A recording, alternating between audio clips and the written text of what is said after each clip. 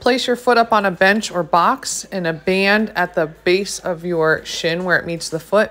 Drive your knee over your second and third toe. Make sure the knee isn't caving in towards the center.